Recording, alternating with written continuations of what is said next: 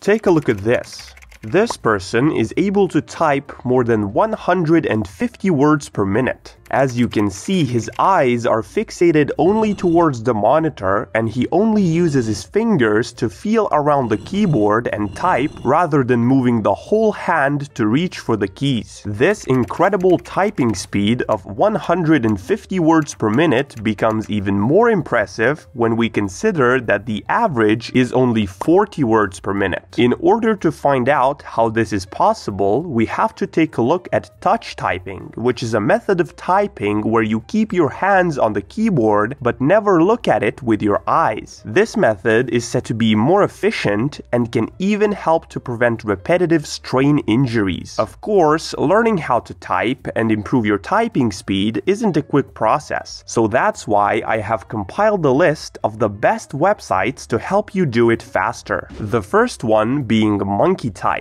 which is my personal favorite because it's so aesthetically pleasing amongst other other reasons, of course. At its core, it's just a basic typing test website with all the unnecessary clutter stripped away. However, if you dive a little deeper, it will show you detailed graphs and statistics about your previous typing sessions and let you tweak just about every setting possible. That includes changing the entire theme of the website and customizing every possible aspect of the typing test you can think of. For example, setting a minimum accuracy, which automatically throws you out of a typing test if your typing accuracy falls below the set threshold. Or how about the confidence mode, which disables deleting words so you can't fix your mistakes while doing the test. The second website is typelit.io, which lets you practice touch typing by retyping entire classic novels. This website doesn't have a timer, rather just the words per minute and accuracy counters, letting you type at your own pace and come back the other day to finish your typing test. This type of concept of learning how to type is quite unique in that you choose a novel that you want to retype, and not only do you improve your typing speed, but in the meantime, you also read a novel. The third website is 10 Fast Fingers, which is no doubt the most popular one amongst beginners trying to learn how to type faster, and for a good reason. Its main advantage is not its aesthetics or a cool concept behind it, but the good, basic functionality that it has. The main reason behind its popularity is that it offers an arsenal of different languages to choose from so you can improve your typing speed in your native language and not only English. Coming in at number 4 is TypeRacer, which gamifies learning how to type.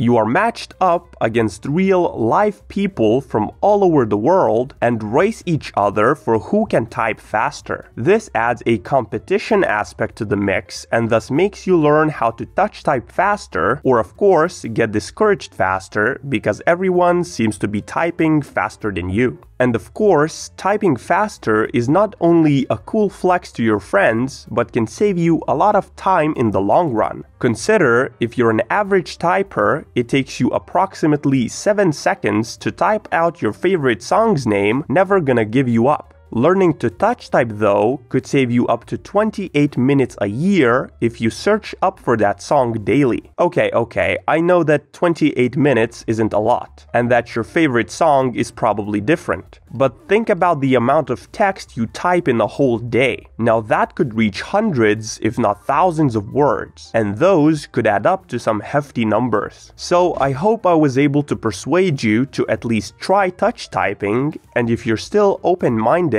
about learning something cool, consider watching this video.